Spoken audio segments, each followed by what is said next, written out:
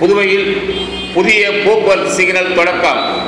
புதுவை கிழக்கு கடல் சாலையில் அதிக விபத்துகள் நடைபெறுவதால் பொதுமக்கள் மற்றும் சமூக அமைப்புகளிடமிருந்து புகார்கள் வந்தது.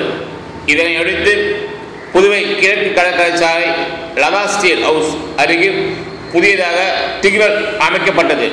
இந்த சிக்னலை காவல்துறை தலைவர் சுனில்குமார் கௌதம் இயக்கி வைத்தார்.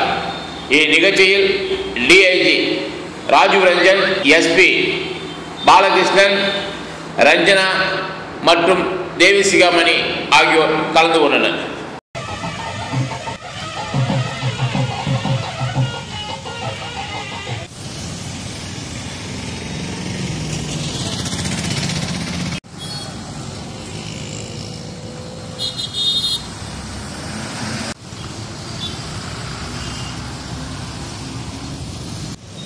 inspectors, SHOs, and all the